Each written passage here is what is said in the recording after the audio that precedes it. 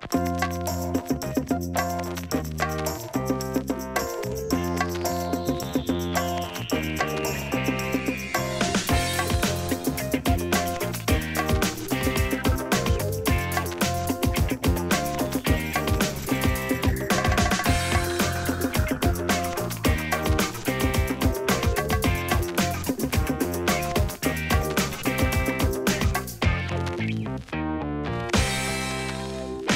The first uh, little piece of reality is that I've never actually given a presentation before.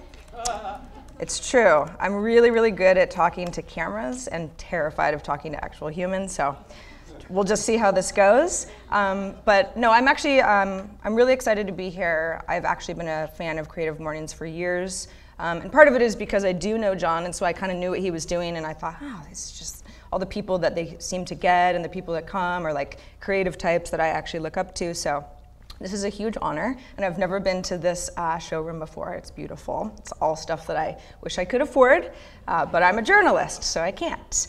Um, but uh, as John mentioned, uh, we worked together many, many years ago. It was actually my first job out of college. So I was a, a very young producer um, who didn't really know a whole lot about anything. But John and I were buddies, and I have a funny memory of this is how long ago this was. He, uh, he and I were friends, and we used to talk about music and stuff, and he had better music taste than I did. And he once gave me like a mixtape on cassette. And it was like, huh. And I had one Walkman, so that's the only way I listened to it because cars didn't really have tape decks anymore. Anyway, so uh, thank you, John, very much for having me here, and thanks to everybody for coming and listening to my story. Um, they told me that uh, the theme was reality, which seems like okay that's like air you know? Everybody knows that but it was a little bit challenging to figure out how i would blend sort of my reality and my experiences with sort of the reality of the tech industry which i've been covering for almost 20 years. Um, but there are a lot of parallels so i'll do my best here um, and try to use keynote at the same time. Um, I'm a journalist. I have a broadcasting degree. I went to San Francisco State, um, which is a big broadcasting school. Um, I graduated in 1998 um, with a new media focus, um, which is funny because nobody really says new media anymore, but that was the buzzword back then. It was like when you were broadcasting online, sort of, even though there wasn't a whole lot of online video yet. Um, so we were all kind of trying to figure that out. Um, I don't write code. I'm certainly not a designer. I've, I've never really worked in any sort of like a technical field. But through circumstance, I've always worked in technology, specifically technology journalism. So I will show you the super cool first, whoops, did I go the wrong way? Yes. There we are. New Media News. Look at that website. Isn't that beautiful? I mean, what, what a treat. I had to go to the Wayback Machine to find this. It's amazing what you can find. I mean, I really went down a black hole, and, and this presentation will probably suffer because I did a lot of that last night. Anyway, this was part of a local news station in San Francisco, KRON TV. At the time, it was an NBC affiliate, so we were very cool. It no longer is. Um, and I was on a show covering Silicon Valley. It was called New Media News. And we covered things like new startups. Uh, there was a particular uh, shoot that I went on at one point. You know, again, I'm, I'm young, I'm 21 or so, right out of college, so I'm, I'm pretty naive, and I don't really know what a tech bubble is. But uh, we went on a shoot, and it was a company called, and I hope if anyone's here, you're all lovely people, it was called theman.com. And the whole idea was that they were so gung ho about the future and their cool product, and they were gonna you know, build websites for men or something like that. And the founders got tattoos of the logos on their ankles, and we shot it and made a segment out of it. And well, you know how that story ends. Um, so, and that's actually not the first uh, instance I've heard of that happening. So, you know, anyway, it was uh, it was uh, very uh, sort of bunch of high rollers getting a bunch of venture capital money, um, and it was it was weird. It was a weird thing. I mean, I grew up in the Bay Area, but I grew up on the other side of San Francisco, a small town called Sebastopol. And so Silicon Valley was like, you know, office parks and people building sound cards and yeah, you know, it's like it all was a little bit weird to me. I didn't really understand that uh, you know, there was there was sort of a bubble. I didn't really understand that that was happening, but I knew something didn't seem right. And then there was this website. Can I say it out loud? Anyway, you see it, you see it. Um, and this was actually reality. You know, all of us behind the scenes, you know, when your boss isn't looking, we're just reading fucked company because this was actually the truth of what was going on. It's like, wow, this, I think the one that iVillage is laying off people, Palm Pilot isn't doing so well. Excite is going under, you know, all this stuff where it was like, this was actually what was really happening behind the scenes. And here I am doing these sort of fluff pieces about startups and how great everything is going. Well, um, needless to say, there was sort of an implosion. That's around, this is about 2000 or, so. Um, luckily, I was working in journalism, so even if the story's bad, you still have a job. You just tell a lot of bad stories. so I moved on to Tech TV. Again, this is, you know, the Wayback Machine. It's amazing what you can find about yourself on the internet. So I ended up working at a company called Tech TV. Is no longer in existence. It was a 24-hour cable news network that was all about technology. And it was great because I liked the stuff anyway. It wasn't really about the startup scene so much. It was very hands-on. I mean, we would teach people, you know, how to fix their own motherboards or you know how to you know hack Windows or you know what's the best digital camera to buy you know and like they topped out at eight megapixels or something. And it was great because I you know I kind of you know in that in those days and there's still some of that going on but in those days it was really a boys club more than it is now. And I always liked being around guys and you know kind of uh, having people respect me and, and feeling like I could, you know, talk the talk. And, and it was a lot of fun. Um, but it was also really nerve wracking. I, I didn't know how to be on camera. Um, kind of how I feel right now. But, uh, but, uh, but I learned a lot, um, and I actually got really good at it. So that was where I sort of changed my reality from somebody who could be behind the scenes and tell stories and kind of pump other people up to somebody who could be myself as, as good as possible, kind of a heightened version of yourself, um, and tell people, um, you know, cool stuff. Tell them how to fix something. Tell them, you know, what uh, cool website they should know about. That sort of thing. Um, talk about the news. It was it was a really, really, really fun job, and it completely changed my whole career trajectory. You know, at one point I thought I wanted to work for MTV and edit music videos because I grew up watching them, and that seemed like a great job. And then I had to work in the industry long enough to realize I'm not an editor. I just want to hang out with editors and talk to them because they're really cool. But that wasn't really for me, and I didn't know that until I had worked in the industry for a while. Um, so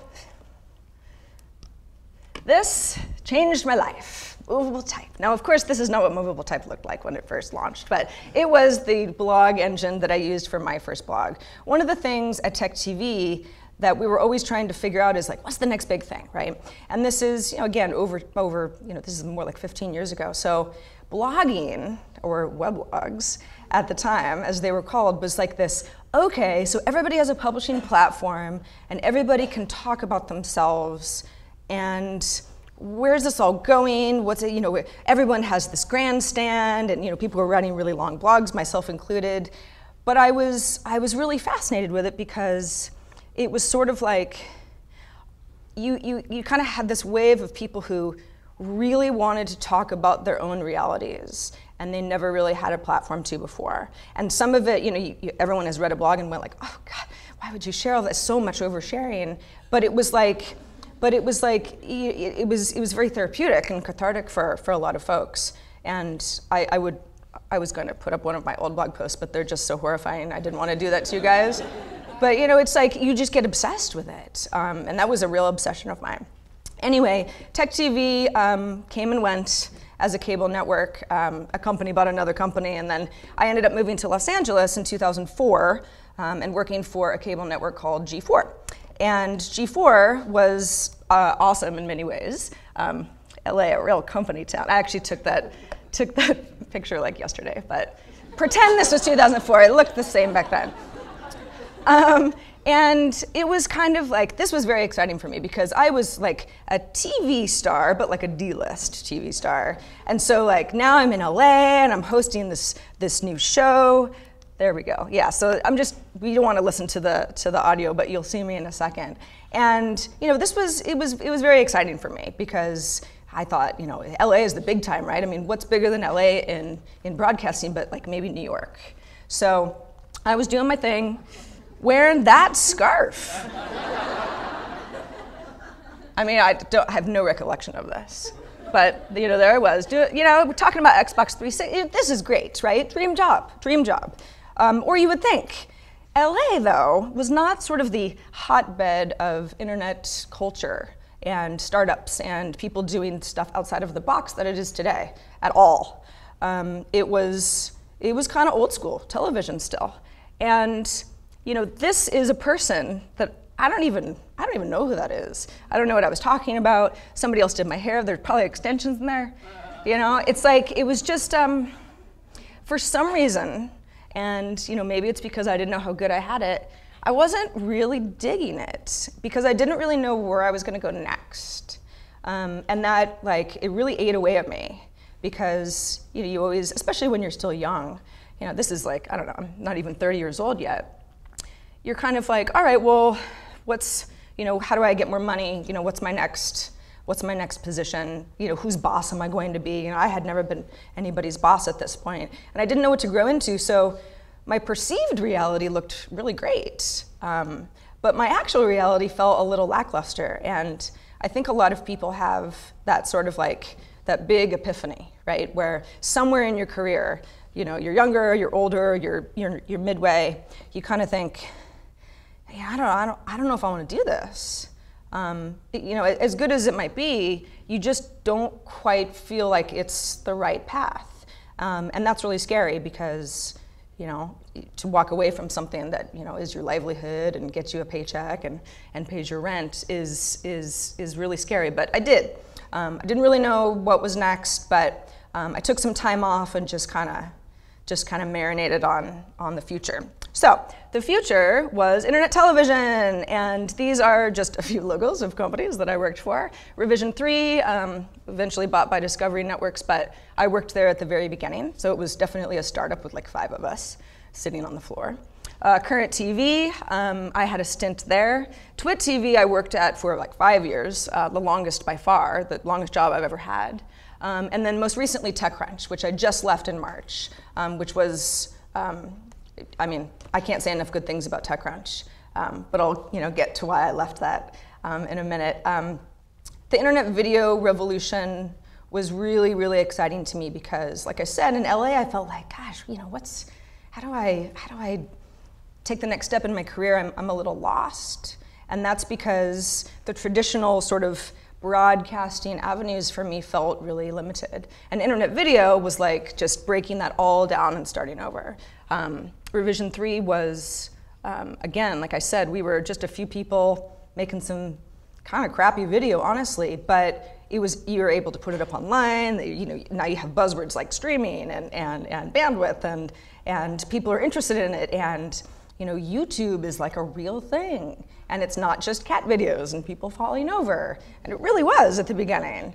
You know, I mean, if you look at some of the, the old archived YouTube pages, they've got featured videos on the front page, and it's like 150 views, 85 views, 300 views. You know, it's like it was a really it was a really different situation back then, but um, but it was exciting. It was really exciting to me, um, and I've always felt like you know I don't know how to do anything except kind of be myself and try to be good at that and be interesting, but um, this kind of like you know, less is more, less, less of the kind of glitzy, uh, glamour type of uh, television that never really appealed to me. I never really did very well at it. So, internet video in San Francisco, all of these companies were based in San Francisco, or I was anyway. Um, I did a lot of that. That's probably an eight year span now. Um, it was a really crucial few years, not just because of internet video that obviously I had a personal interest in, but um, you know, blogging dropped off a lot. Not that there aren't a lot of bloggers today, but there are you know so many fewer bloggers than there were back then, and it's not just because only a few people could make money doing it. I was not one of them. Um, I did try though. BlogHer. Did anybody used to run BlogHer ads on their blog? Well, I did, and I made like $200 in my best month. Um, so I was like, okay, well, that's not a viable option. Um, but it was also just, it was just a lot for, for readers to consume. You know, even if you like understand RSS feeds, which really the general public never did, but even if you do and you've kind of got the whole thing organized, it's just sort of a lot. Um, and it was sort of like, okay, well, you know, where's the communication going exactly? This is this is all great, but you still get like a few superstars, and then you know, where's the rest of everybody's story? You know, where does where do where do they get lost? Um, and really, it got replaced with little short bursts of communication. You know, short tweets, um, short texts. I would say short Facebook posts, but nobody from my high school knows how to do that. Um, but um, you know, it, it, sorry, I'm just jealous. Hopefully, they're not here or watching. They don't know how to use the internet. Um, but, uh, but, but, but that, that became really fascinating too, because you know, somehow constraining people into just shorter ways of expressing themselves was like the coolest thing. This is, this is an SMS reply I send constantly. And it doesn't mean anything, but somehow it works. It's like, it's the best GIF I've seen to date. You can watch it all day. Maybe we will. Um, but, uh, but, but real communication um, has, has really changed, and that's, that's really exciting to me. Um, and it's exciting because, again, this whole time I've kind of been the person who's talking about the people making technology. So um, as that technology changes, um, it's, it's, it's, just been, it's just been a lot of fun for me to watch. But, um, but it's, not, it's not all fun. Um, the current tech scene, which is, can I actually pause this? Is it like really distracting? I could just see it out of the corner of my eye, the smoke cat. Um, we'll just go to the next one. All right, so this, this is, and I, and I hate to throw anybody under the bus, but I'm just going to talk a little bit about the sort of the scene in uh, technology, and, and, and, it is San Francisco centric, the Bay Area, Silicon Valley, that whole thing. It's not just there, but it's very, very pervasive there, and it also is um, an area of California that I just left and I have been in a long time. So this is an example of a company um, Rentberry. Um, this is just a, a, a, company that's been around and they, they have a new model where they want to let uh, landlords let renters bid on an apartment with the highest bidder winning the apartment, right? This is exactly the San Francisco problem because you know we already like nobody can buy a house except all the rich people who got some you know Facebook shares, right?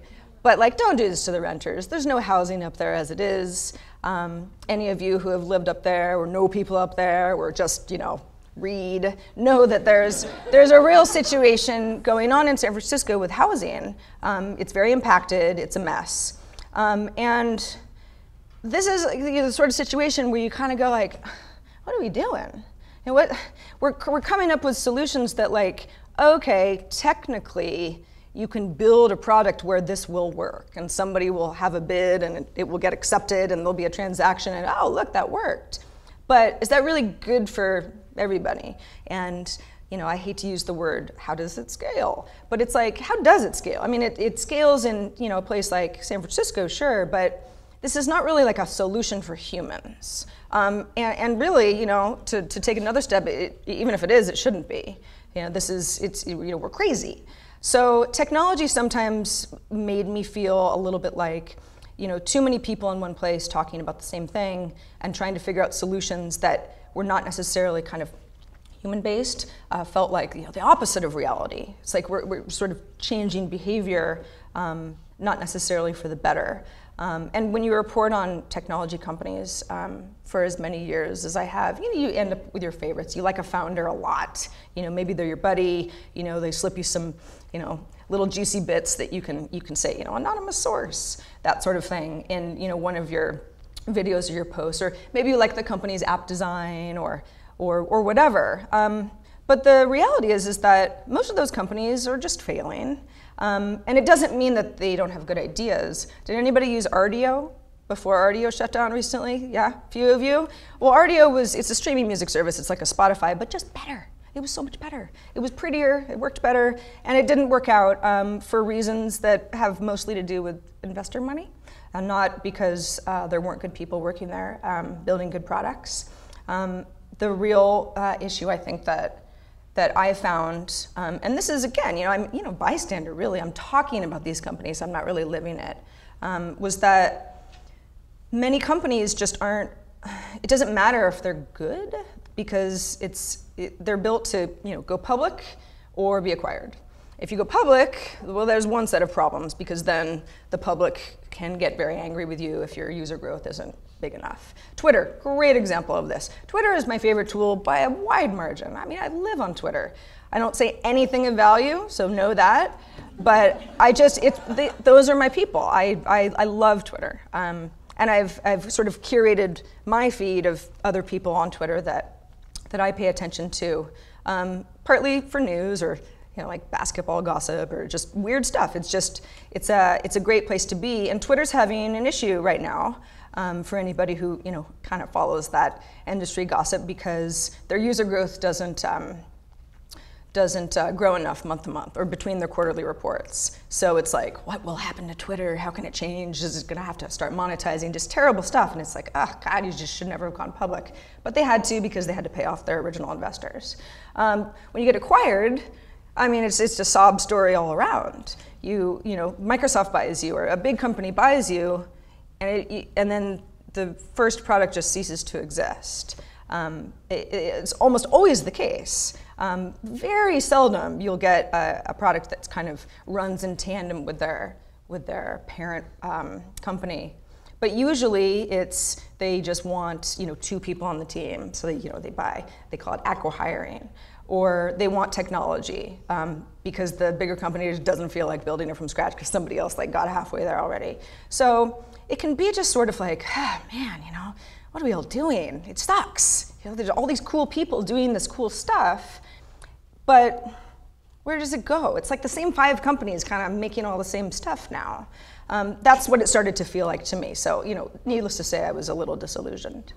Um, there's definitely world-changing innovation. Um, and I don't want to make light of big companies that are doing big things, you know, self-driving cars, um, virtual reality. Google I.O., for anybody who follows the goings-on of Google, it's their big developer conference that's happening right now, this week, up in Mountain View. Um, you know, they're all about VR right now. And I, you know, I, I would never dismiss that as not being something that is probably going to be world changing for the better. You know, we're at the beginning of it now, and that is exciting. So it's not all fluff up there, but um, you know, being from the Bay Area and watching it change, I um, I don't know, I kind of had to get out of there. So anyway, I was working at TechCrunch, great job. Um, in fact, they all kind of looked at me like, why, why would you leave? This is your best job.